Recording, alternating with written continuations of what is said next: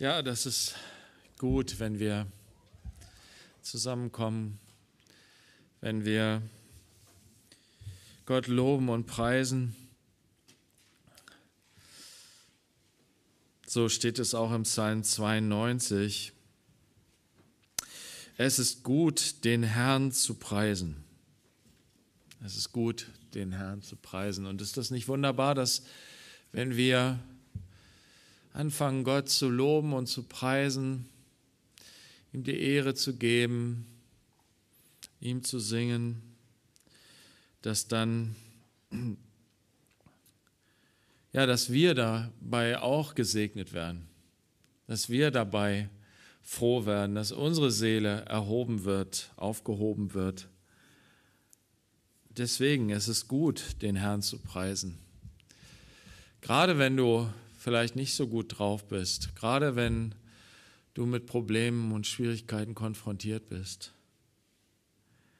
Gerade dann, und manchmal ist es so schwer, selbst ins Lobpreis, in, in den Lobpreis oder in die Anbetung zu kommen, aber dann sich zum Beispiel Psalm 103 zur Hand zu nehmen, wo David sagt, lobe den Herrn meine Seele und was in mir ist, seinen heiligen Namen. Lobe den Herrn meine Seele und vergiss nicht alles, was er dir Gutes getan hat. Oder Psalm 92 hier. Es ist gut, den Herrn zu preisen und deinen Namen, du Höchster, zu besingen. Am Morgen zu verkünden deine Gnade und deine Treue in den Nächten. Es ist ein Lied, steht hier im Psalm 92, ein Lied für den Tag des Sabbats. Ein Tag des Sabbats, der Tag des Sabbats ist der Ruhetag, wo Gott uns zur Ruhe bringen möchte. Von all den Sorgen, von all den Nöten, von all den Problemen, von all dem Stress. Und wie kommst du zur Ruhe? Wie kommen wir zur Ruhe? Indem wir Gott loben, indem wir ihn preisen, indem wir ihm die Ehre geben. Na, ich habe ganz am Anfang meines Christenlebens einen Spruch gelernt. Danken schützt vor Wanken und Loben zieht nach oben. da ist Wahrheit drin. Das ist unsere Seele blüht auf, wenn wir das tun, wozu wir geschaffen sind. Nämlich zu unserer, die Liebesbeziehung zu unserem Vater im Himmel auszuleben wenn wir von uns von unseren Gefühlen und von den Sorgen und Ängsten und Nöten bestimmen lassen, das ist das, was der Teufel will, dann kreisen wir um uns selbst. In dem Moment aber, wo wir uns öffnen, unser Herz öffnen und das tun, wozu wir bestimmt sind, nämlich um unseren Gott zu kreisen, dann werden wir frei und froh. Es ist gut, den Herrn zu preisen. Lass uns das tun, immer wieder, jeden Tag neu. Dann führt Gott uns in den Sabbat, in die Ruhe. Ja, wir gehen zu Sprüche wieder, Sprüche 21 und ähm, ja, irgendwie das Thema heute passt gut zu dem, was Stefan so durch den Heiligen Geist für heute auch bekommen hat.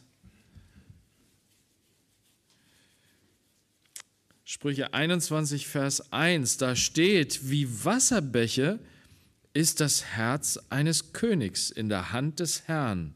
Wohin immer er will, neigt er es.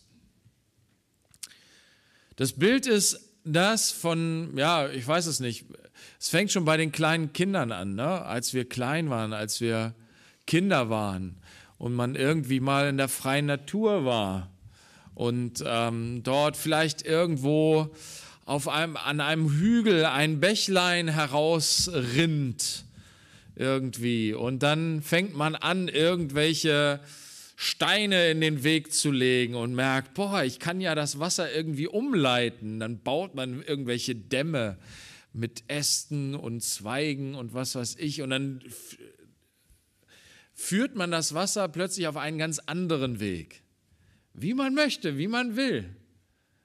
Manchmal ist das Wasser ein bisschen zu stark, zu mächtig. Man muss dann größere Dämme und größere äh, Hindernisse hineinbauen, dass das Wasser auch tatsächlich in die Richtung geht, wo es hin soll. Na, und dann entdeckt man, dass man, soll, dass man die Fähigkeit hat, das Wasser zu lenken. Na, und diese Erkenntnis, die ähm, haben dann, ja, wenn man erwachsen ist oder die Erwachsenen, die äh, ja, wenden das noch in viel größerem Maßstab an. Ne? Das heißt, ich, wie dann Flüsse begradigt werden und so weiter. Ob das dann immer so weise ist und so richtig, ist eine andere Frage.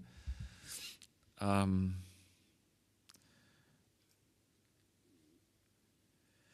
Und hier in dem Vers wird uns gesagt, dass Gott auch so ein Bauer von Dämmen und Wegen, Wasserwegen ist, dass er das Wasser leitet.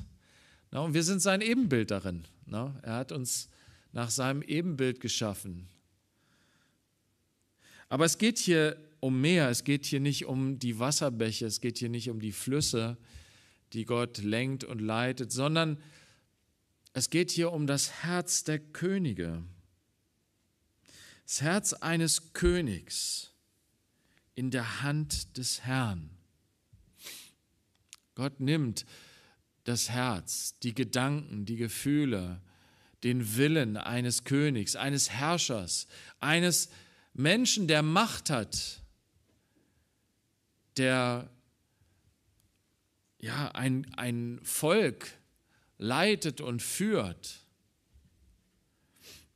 Gott ist es, der diesen Führer führt. Er ist der König der Könige, der Herr der Herren. Das ist das, was dieser Vers hier sagt. Wohin immer er will, neigt er es. Oder äh, man kann auch übersetzen, ähm, führt er es, bewegt er es, wendet er es. Das gilt natürlich zuallererst für einen gottesfürchtigen König. In Israel war es Gesetz, im Gesetz des Mose, im fünften Buch Mose steht, dass ähm, der König des Volkes Israel tagtäglich in dem Gesetz lesen sollte. Er sollte jeden Tag seine Bibel aufschlagen und darin lesen, wenn du es so willst.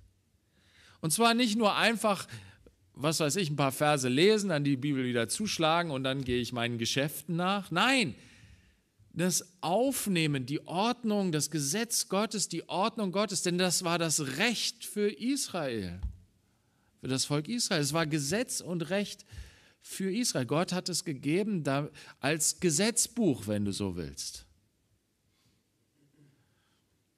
Und der König, er war der Regent, der Führer, er musste sich diesem Gesetz unterordnen, so wie sich unsere Politiker heute auch dem Grundgesetz und den Gesetzen des Landes unterordnen müssen. Ja, sie haben auch das Parlament, die Regierung teilweise unterschiedlich, wie das aufgeteilt ist in unserem Land, aber sie haben auch gesetzgeberische Kraft, Vollmacht. Das heißt, sie können neue Gesetze ähm, machen. Und trotzdem müssen sie sich an die bestehenden Gesetze halten und sich diesen bestehenden Gesetzen unterordnen. Insbesondere den vorrangigen Gesetzen der Verfassung, die ihnen gegeben ist, vorgegeben ist. Sie können sie nicht einfach abändern.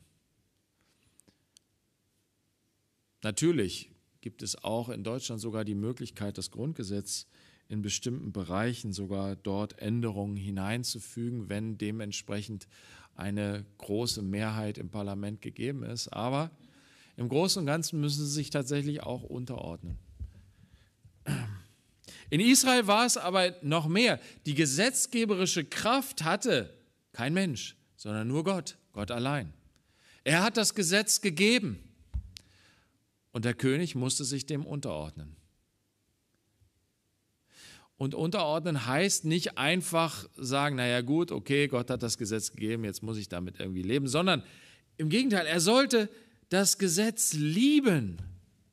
Er sollte die Ordnung Gottes studieren und sie sozusagen tief in sein Innerstes aufnehmen, sodass es seine Regentschaft, seine Herrschaft geprägt hat.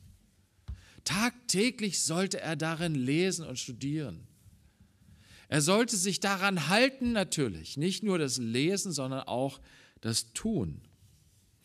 Und in dem Moment, wo er das tut, was Gott sagt, da ist er wie ein Wasserbach, der von der Hand des Herrn geleitet wird.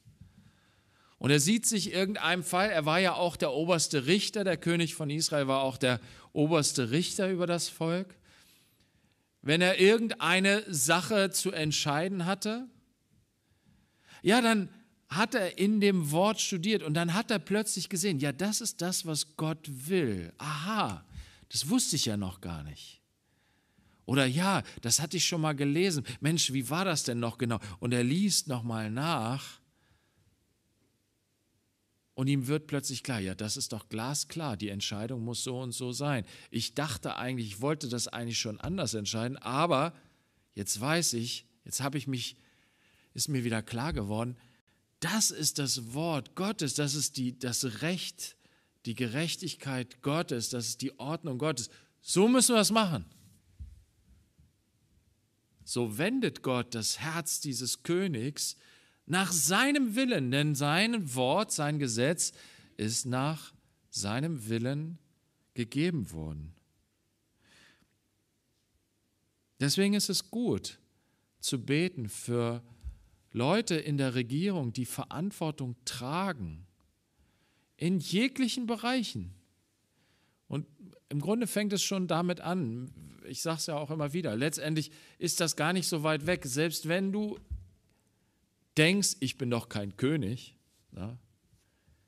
Aber auch du hast Verantwortung in deinem Haus. Du hast Verantwortung für bestimmte Menschen als Vater und Mutter. Du hast vielleicht Verantwortung in der Schule als Lehrer oder in, in der, im, im Kindergarten als Erzieher. Du hast Verantwortung als äh, jemand, der in irgendeinem Amt sitzt, über Menschen zu entscheiden. Und deswegen ist es wichtig, das Wort Gottes tagtäglich zu lesen, zu studieren, damit dein Herz von Gottes Willen geprägt und geleitet wird. Dass du in dem, wie du dein Amt ausübst, von ihm geleitet bist, dass er dich lenken kann, dein Herz lenken kann wie ein Wasserbach. Das wünscht sich Gott eigentlich. So hat er uns am Anfang geschaffen. Er hat uns als sein Ebenbild geschaffen und er hat Adam und Eva diese große Aufgabe gegeben. Ihr sollt herrschen. Ihr sollt regieren, ihr sollt Könige sein in dieser Welt. Ihr habt Verantwortung über das Leben auf dieser Erde. Und dann hat Gott sie nicht allein gelassen und hat gesagt, jetzt macht mal. Nein, er hat mit ihnen zusammen gelebt. Er ist mit ihnen gewandelt. Er hat ihnen Ordnungen gegeben, Wegweisung gegeben. Sie haben mit ihm gelebt zusammen, in Gemeinschaft. Gott hat den Menschen nicht geschaffen und als Herrscher eingesetzt, unabhängig von ihm, sondern in Gemeinschaft mit ihm, untergeordnet unter ihm. Und wenn wir das neu begreifen, wenn wir dahin zurückkehren, das ist Umkehr, persönliche Umkehr. Ja, ich bin nicht mehr Herr meines eigenen Lebens, sondern du bist es, Herr. Ich erkenne an, dass du mein Schöpfer bist, dass du mein Herr bist. Ich will mich von dir leiten lassen, von deinem Willen leiten lassen. Mein Herz soll in der Hand, in deiner Hand wie ein Wasserbach sein, den du leiten und lenken kannst, nach deinem Willen, nach deinem Wunsch.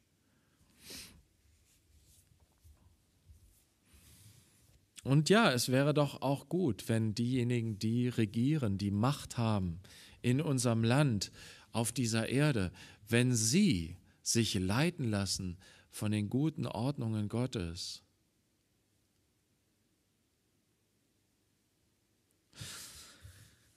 Der Spruch bezieht sich aber einfach so auf einen König, auf Könige. Und es gilt auch für Menschen, die nicht gläubig sind. Das sehen wir in der Geschichte Israels. Ich nehme zum, nur zwei Beispiele, die bei den Propheten so auch namentlich genannt werden. Nebukadnezar. Gott sagt, er ist mein Werkzeug. Ich gebrauche ihn, um meinen Willen auszuführen, nämlich Gericht zu üben über mein Volk Israel. Genauso König Kyros von Persien. Ähm, wie viele Jahre später? 70 Jahre später. Er wurde von Gott gebraucht, von Gott eingesetzt, auch um ein Werkzeug zu sein, nämlich um die Israeliten wieder nach Jerusalem zurückkehren zu lassen, die Juden, und den Tempel wieder aufzubauen. Und er wird namentlich genannt im Propheten Jesaja. Jesaja hat lange bevor er überhaupt gelebt hat, geweissagt über diesen König Kyros und hat gesagt: Das ist mein Knecht, mein Diener. Obwohl er nicht gläubig war. Der hat sich nicht zum, zum äh, Gott Israels bekehrt. Er hat seine Götzen angebetet. Und trotzdem war sein Herz in der Hand Gottes wie ein Wasserbach. Er hat ihn gelenkt nach seinem Willen, sodass sein Wille geschehen ist. Er ist der Herr der Herren, der König der Könige. Er hat nicht nur, er ist nicht nur ein persönlicher Gott, wisst ihr? Er ist ein persönlicher Gott. Das ist was Wunderbares, dass er mein Gott sein will. Und wenn er nicht dein persönlicher Gott ist, dann gehst du am Ziel vorbei. Aber er ist nicht nur dein persönlicher Gott, sondern er ist der Gott des ganzen Universums. Er hält alles in seiner Hand. Er lenkt nicht nur dein persönliches Leben, sondern er lenkt die Weltgeschichte. Unfassbar. Unvorstellbar. Er ist der Herr der Herren, der König der Könige, der allmächtige Gott. Hier steht, dass Gott das Herz der Regierenden lenkt, wie er will. Was ist nun mit denen, die regelrecht in Opposition stehen gegen Gottes Willen. Wir sehen ein Beispiel im Alten Testament, den Pharao von Ägypten. Er wollte das Volk nicht ziehen lassen. Gott wollte sein Volk aus Ägypten herausführen. Das war Gottes Wille, ihre Befreiung. Der Pharao wollte nicht. Und Gott hat gesagt, Okay, dann will mal nicht. Dann will ich durch deinen Widerstand etwas noch Größeres tun. Und so diente der Widerstand des Pharaos gegen Gottes Willen am Ende der Vollendung von Gottes Willen. Noch ein viel krasseres und viel wichtigeres Beispiel ist zum Beispiel die Kreuzigung Jesu. Wisst ihr, dass der Hohe Rat, Pilatus, Herodes, die, die, die, die Gemeinde betet in Apostelgeschichte 4. Du hast es gesehen. Sie haben sich alle gegen deinen Gesalbten gewandt. Sie haben sich alle, wie David es prophezeit hat im Psalm 2, sie haben sich gegen den Herrn und seinen Gesalbten zusammengeschlossen. War das Gottes Wille? Nein und ja.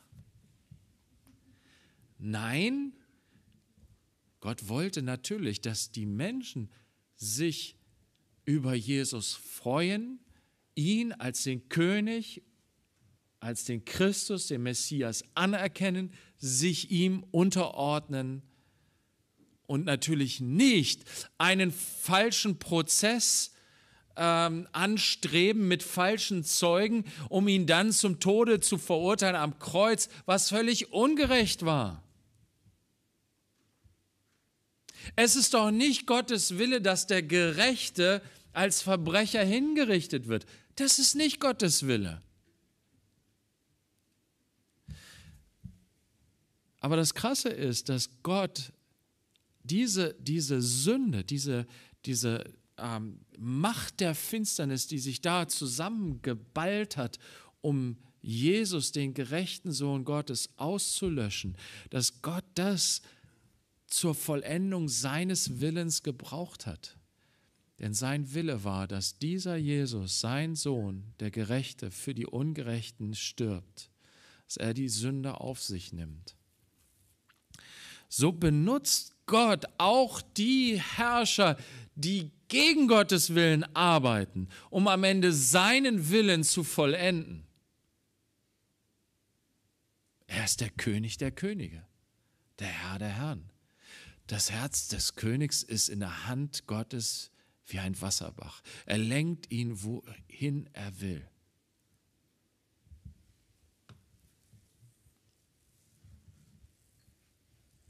Und natürlich ist uns das irgendwo zu hoch. Diese Gedanken sind uns zu hoch. Wie kann das sein? Auf der einen, will Gott tatsächlich all diese Ungerechtigkeiten und dieses schlimme Elend auf dieser Erde, was die Mächtigen dieser Welt anrichten, Krieg und Vertreibung und Unterdrückung, ist das wirklich alles Gottes Wille? Nein und ja. Denn wenn wir vom Willen Gottes sprechen, dann sprechen wir eigentlich von zwei unterschiedlichen Dingen. Das eine ist der Wille Gottes, der sein Wesen offenbart, seine Liebe, seine Güte, seine Gnade, seine Gerechtigkeit. Der Wille Gottes ist das, was seinem Wesen, sein Charakter entspricht. Aber dann sehen wir, dass Gottes Wille etwas beinhaltet, nämlich die Freiheit des Menschen, den er geschaffen hat als sein Ebenbild, die Freiheit dazu, Ja oder Nein zu sagen zu seinem Willen. Und diese Freiheit, die Gott dem Menschen gegeben hat, führt dazu, dass Sünde und Tod und Verderben in diese Welt hineingekommen ist. Und das steht jetzt gegeneinander. Die Sünde, das Widerstreben gegen Gottes Willen und auf der anderen Seite Gottes guter Wille. Und Gott in seiner Allmacht, in seiner Autorität, in seiner Größe findet einen Weg, dass am Ende sein Wille geschieht trotz all des Widerstands und des Widerstrebens.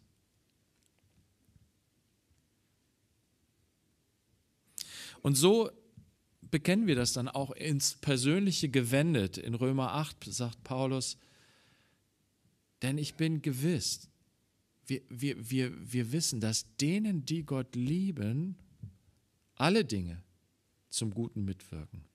Alle Dinge. Und er, ihm geht es gerade um das Leiden, um die Ungerechtigkeiten, durch die wir hindurchgehen, um die Schmerzen, die wir ertragen müssen in diesem Leben. Alle diese Dinge dienen am Ende zum Guten, führen dazu, dass du, dass ich, dass wir als Kinder Gottes das Ziel erreichen, was Gott mit unserem Leben vorhat. Und ja, es ist nicht Gottes Wille, dass wir Schmerzen haben. Am Ende wird er alle Schmerzen wegnehmen. Aber ja, es ist sein Wille, dass du und ich durch Schmerzen, durch Leiden hindurchgehen, weil es am Ende uns zum Ziel bringt.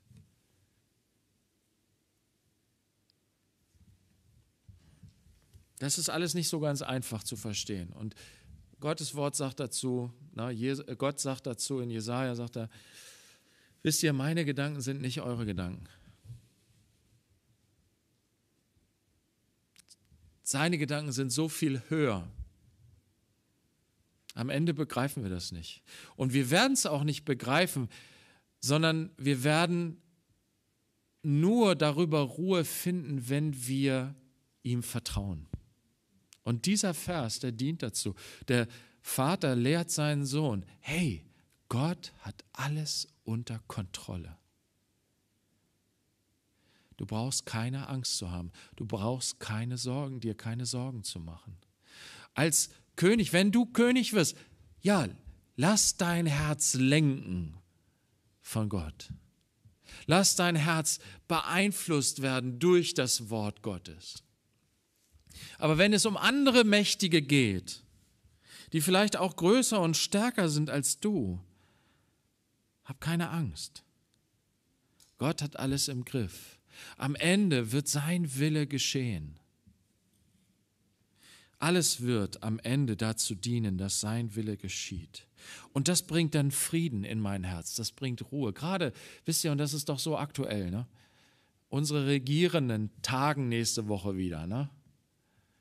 Unser Ministerpräsident wird sich in die Runde der Ministerpräsidenten und Ministerpräsidentinnen und der Kanzlerin begeben und wird Sie werden ratschlagen darüber, wie sie denn jetzt weitermachen wollen. Inwiefern sie Einigkeit erzielen in den Maßnahmen oder ob jeder sein Ding macht. Und es wird wieder Auswirkungen auf unser Leben haben, wie wir unseren Alltag führen können, wie wir unser Leben führen können. Aber wisst ihr, wir können ruhig darüber sein, weil Gott lenkt die Herzen der Könige wie Wasserbäche. Wohin immer er will, neigt er es, neigt er die Herzen, lenkt er die Herzen, wendet er die Herzen. Und wisst ihr, wir haben eine Möglichkeit, eine ganz spezielle, besondere Möglichkeit, in diesem Ganzen spielen wir eine Rolle. Gott gibt uns eine Rolle als Mitarbeiter. Wir sind nicht nur Beobachter, wir sind nicht nur Opfer, sondern wir sind Mitarbeiter Gottes. Als seine Kinder haben wir eine, ein besonderes Vorrecht. Wir haben nämlich Zutritt zu diesem Herrn der Herren und König der Könige. Wir können mit ihm über diese ganzen Dinge reden wie wir gesungen haben. Der Herr der Herren, der, der König der Könige ist unser Freund. Wir sind seine Freunde. Wisst ihr was? Und er sagt, hey, ich will euch mal dazu hören. Wo sagt er das? 1 Timotheus 2.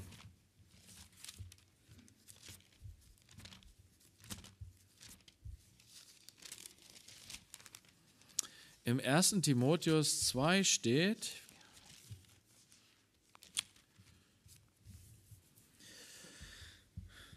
Ich ermahne nun vor allen Dingen, dass Flehen, Gebete, Fürbitten, Danksagungen getan werden für alle Menschen, für Könige und alle, die in Hoheit sind, damit wir ein ruhiges und stilles Leben führen in aller Gottesfurcht und Ehrbarkeit.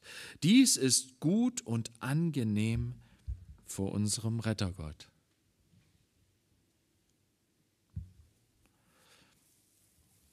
Wisst ihr, wir durch, die, durch das Wort Gottes, das uns zuspricht, ich habe alles unter Kontrolle, ich leite die Herzen derer, die Macht haben, da können unser Herz ganz ruhig werden. Wir können wissen, okay, nächste Woche, wenn die zusammentreten, am Ende geschieht doch Gottes Wille.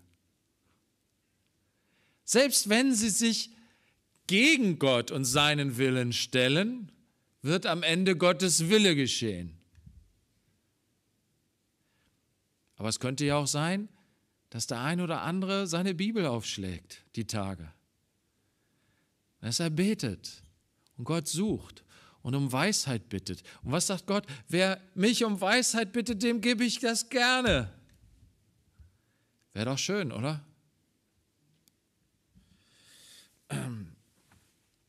Aber Gott sagt uns, er spricht zu uns als Gemeinde, zu dir und zu mir, die wir alle fast gar keine Macht haben. Er ermahnt uns vor allen Dingen, dass wir beten, dass wir beten. Und zwar mit Flehen, aber auch in Fürbitte. Wir beten für Menschen. Wir beten nicht gegen Menschen, wir beten für Menschen.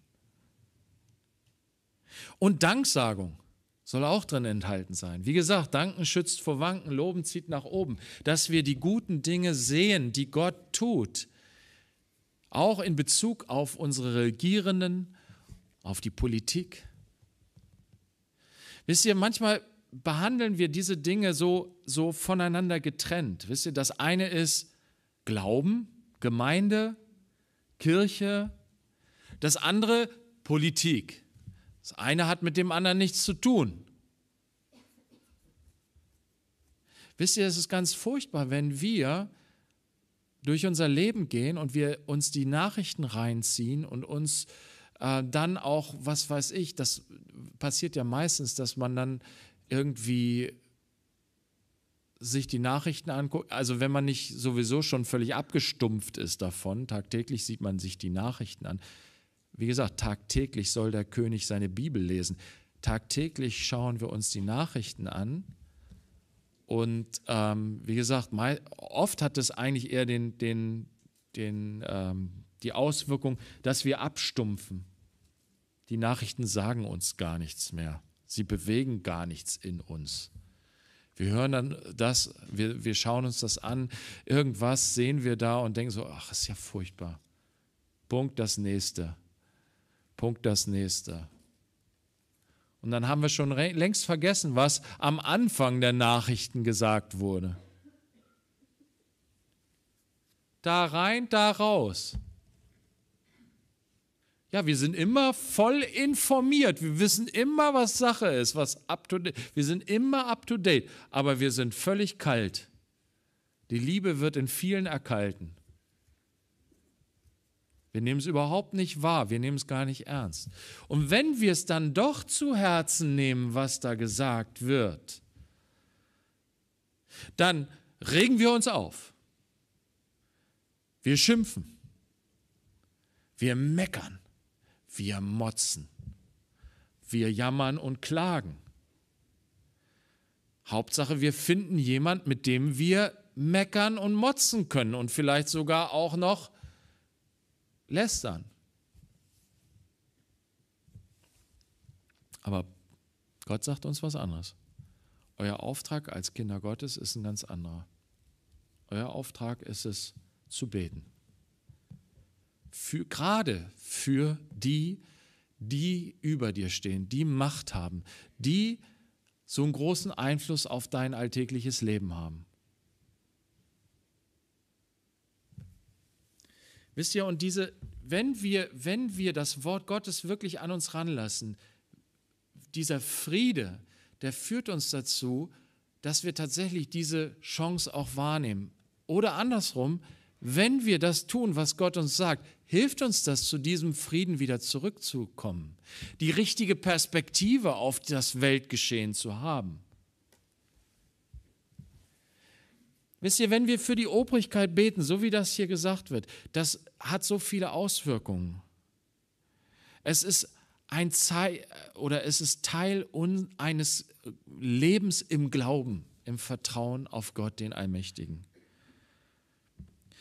Wenn wir beten für die Obrigkeit, wisst ihr, was wir dann machen? Dann tun wir das, was Petrus uns sagt. Wirf deine Sorgen auf den Herrn.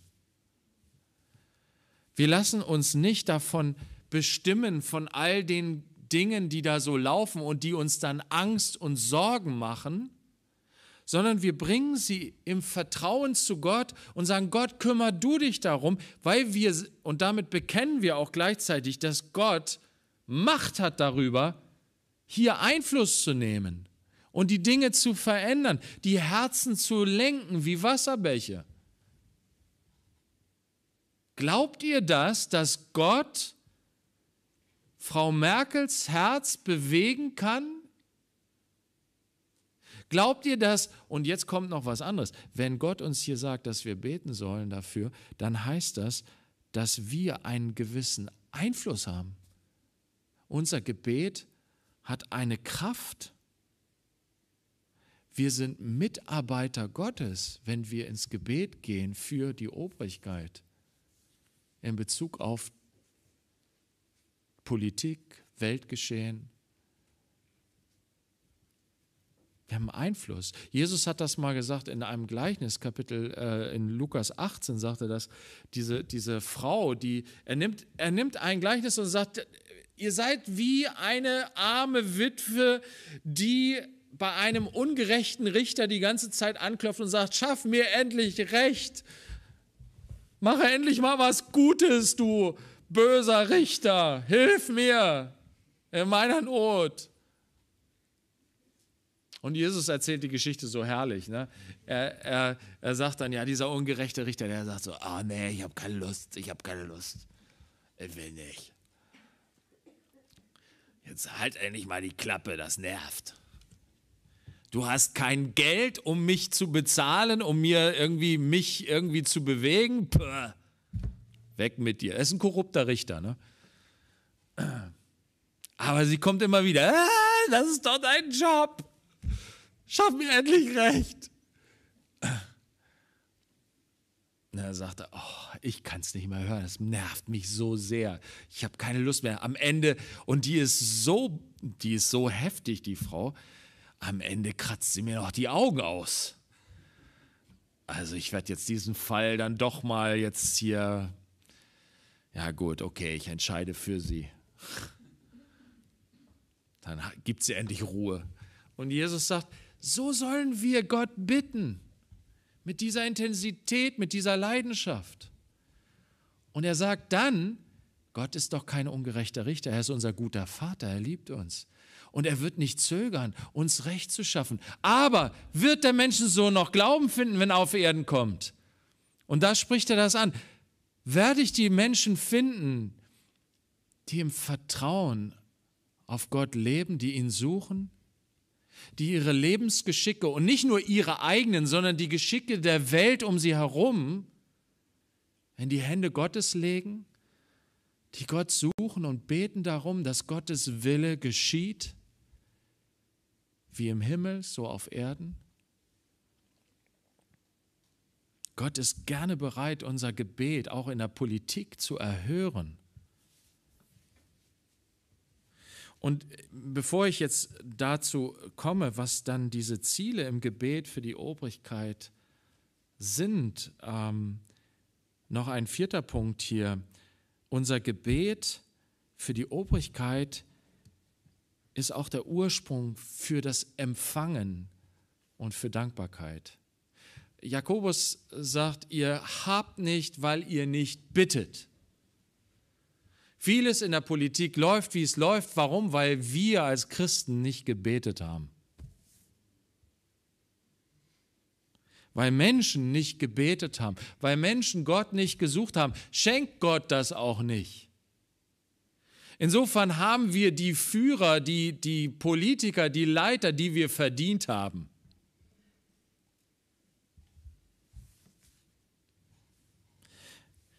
Wisst ihr, wenn wir beten, dann empfangen wir von Gott.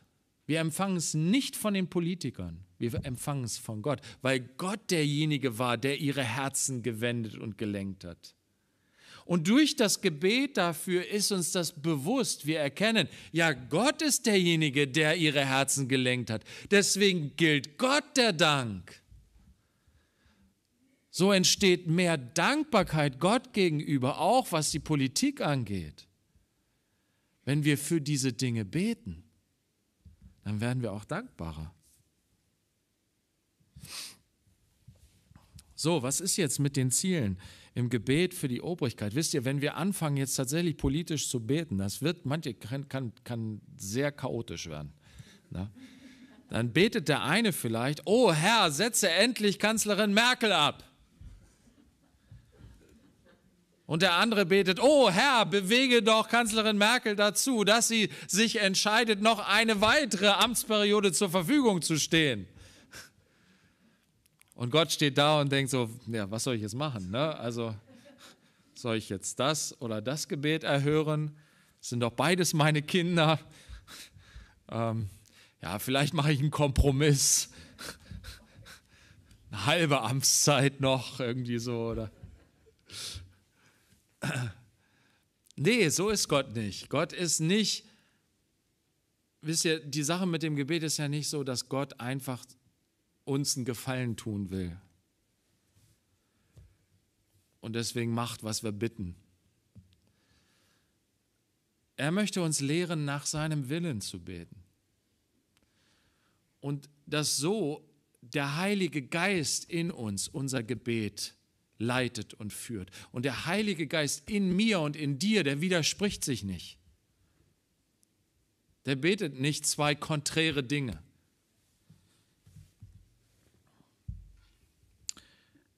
Gott sieht unser Herz, er sieht unsere Not. Und wir sind manchmal auch so dumm und blöde in unserem Gebet. Na? Paulus sagt, wir wissen nicht, wie wir beten sollen. Römer 8, ne?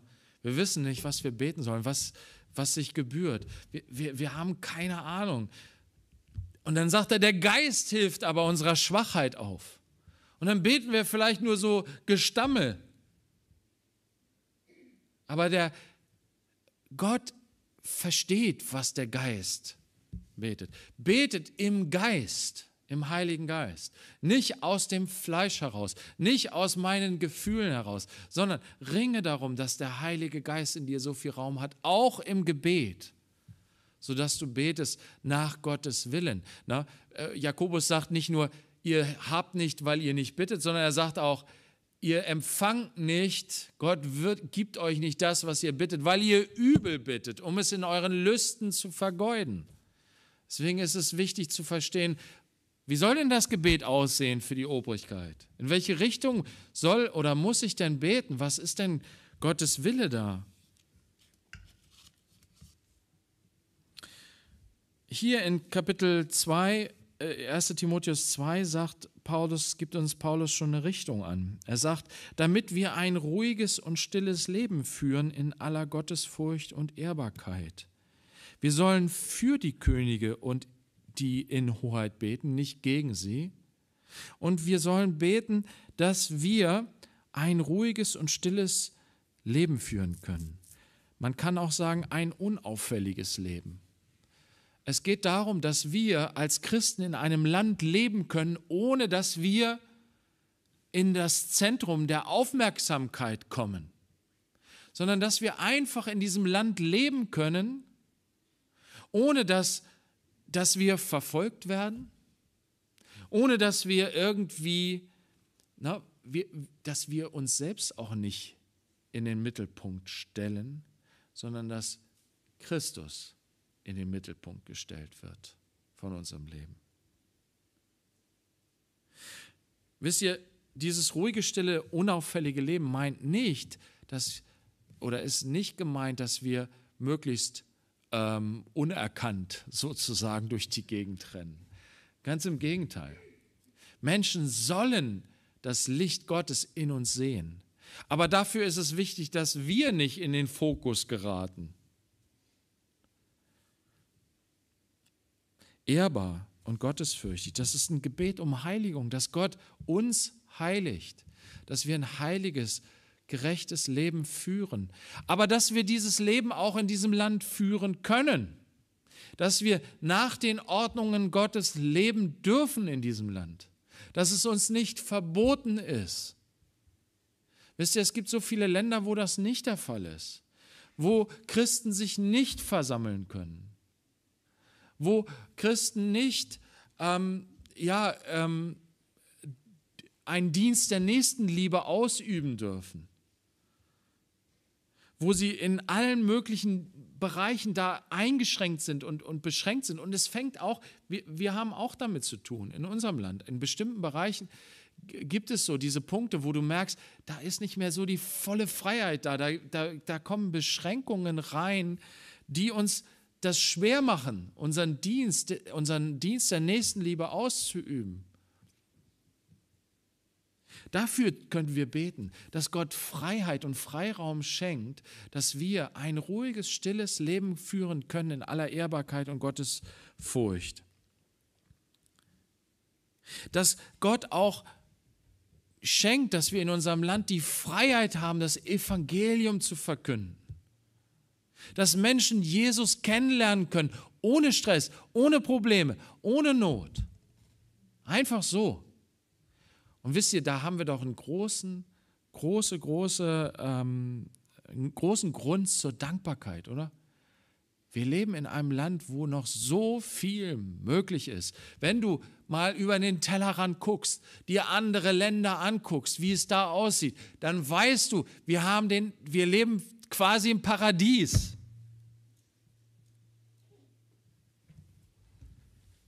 Wir haben so viele Möglichkeiten und wir nutzen so viele Möglichkeiten nicht. Aber das sollte unser Gebet sein, dass Gott das bewahrt, dass Gott die, diejenigen, die regieren, dass sie ein wohlgesonnenes Herz haben für den Dienst, den wir tun als Christen in diesem Land. Auch für den geistlichen Dienst, Verkündigung des Evangeliums. Es gibt noch einen weiterer Punkt, wo wir auf jeden Fall für beten können, was Teil unseres Gebetes für die Obrigkeit sein sollte. Wie gesagt, wir beten für die Könige und nicht gegen sie. Wir sind keine Anarchisten. Wir beten dafür, dass die staatliche Ordnung aufrechterhalten wird. Wir beten dafür, dass Menschen, die tatsächlich Verantwortung in unserem Land haben, dass sie geschützt und bewahrt bleiben. Wir beten gegen Terrorakte. Wir beten dafür, dass, dass ähm, auch, und ähm, das ist ein weiterer Punkt hier, 1. Petrus 2, schlag mal auf, 1. Petrus 2.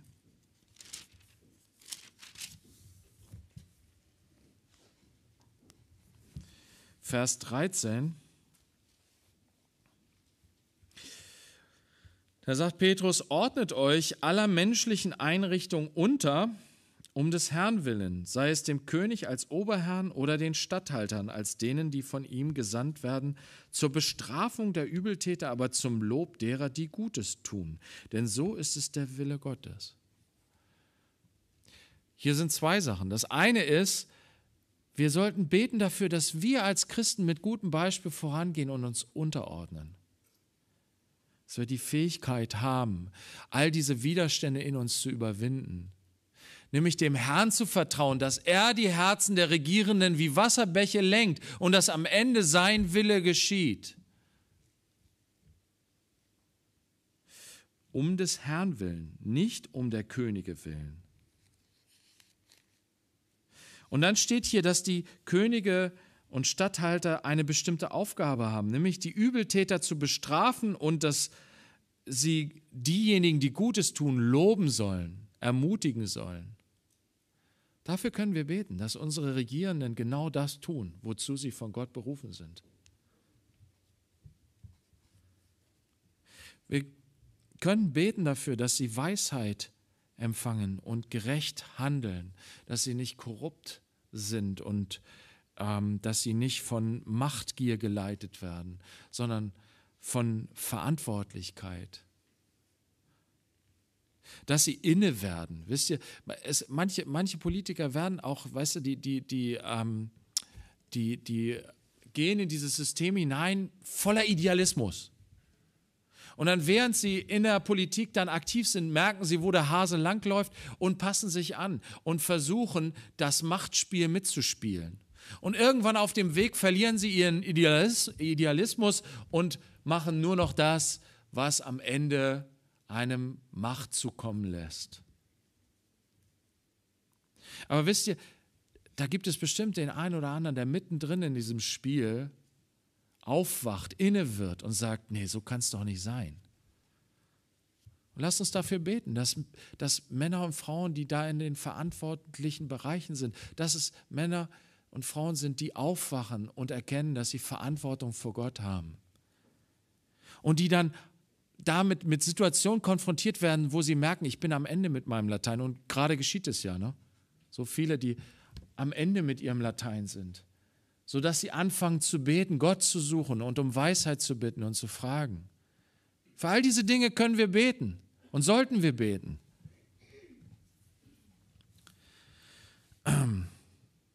Das Vaterunser zeigt uns auf. Jesus sagt, dein Reich komme, sollen wir beten. Also Lass uns dafür beten, dass das, was in der Politik geschieht, dem Reich Gottes förderlich ist und nicht dem entgegensteht. Er lehrt uns beten, unser tägliches Brot gib uns heute. Wir können dafür beten, dass es den Menschen in diesem Land gelingt, sich selbst zu ernähren. Und dass die politischen äh, äh Gegebenheiten so sind, dass das möglich ist und dass es nicht verhindert wird. Wir sollten aber uns hüten davor, in eine Richtung zu beten, die das unterstützt, was in unserem Land oft auch Maßgabe ist, nämlich Wachstum, Wachstum, Wachstum, Wachstum.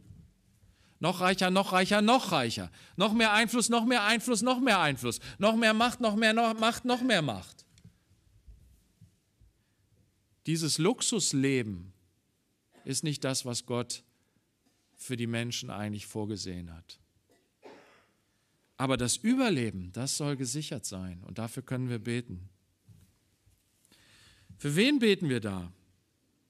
Für die Parlamente, für die Politiker in den Parlamenten. Wir beten für ähm, die Regierungen in Bund, Land und Kommunen. Wisst ihr, wir müssen auch für den Schutz von Kommunalpolitikern beten.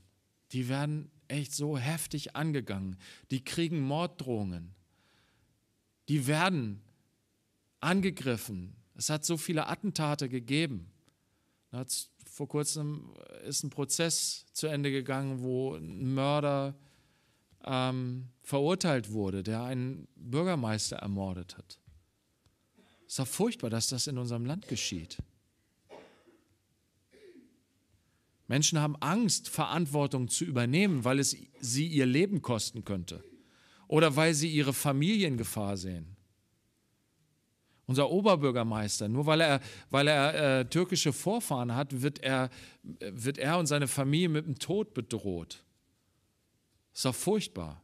Ich meine, das heißt doch nicht, dass ich allem zustimme, was er macht, dass ich alles gut finde, was er macht und was er für eine politische Linie fährt oder was weiß ich. Was er glaubt, was er tut, das, das muss ich doch nicht gut finden, aber ich, ich finde es furchtbar, dass er mit dem Tod bedroht wird. Das kann nicht angehen. Dafür muss ich beten, dass er geschützt bleibt und auch alle anderen in Verantwortung. Ich soll für sie beten. Die Beamten auf den verschiedenen Ämtern, ne? wie oft hast du dich schon über Leute geärgert auf dem Amt? Ne? Bete für sie. Lehrer, Erzieher, Bete für sie. Die Polizisten, die Kontrolleure im Zoll. Wir brauchen mehr Leute im Zoll, ne, die, die diese ganze Drogen, diesen ganzen Drogensumpf endlich dem Einhalt gebieten. 16 Tonnen Kokain. Wahnsinn. Gott möge sie inspirieren, dass sie das riechen, wo die Scheiße ver versteckt ist. Und sie alle auffliegen Richter, Anwälte. Gab irgendwie so eine, so eine, so eine ähm, Serie, ich glaube im NDR oder so, nicht meckern, machen irgendwie so. Ne? Ich, ich wende das jetzt mal, nicht meckern, beten. Auch für die Wahlen, die kommen. Ne? Am Ende haben wir sogar Verantwortung, denn die Souveränität in Deutschland geht doch vom Volk aus. Wir machen unser Kreuz alle irgendwo wir müssen für uns alle, für alle Menschen beten in diesem Land, die irgendwann irgendwie ihr Kreuz machen. Davon hängt doch ab, wer dann in die Verantwortung kommt. Aber haben wir es in der Hand? Nein.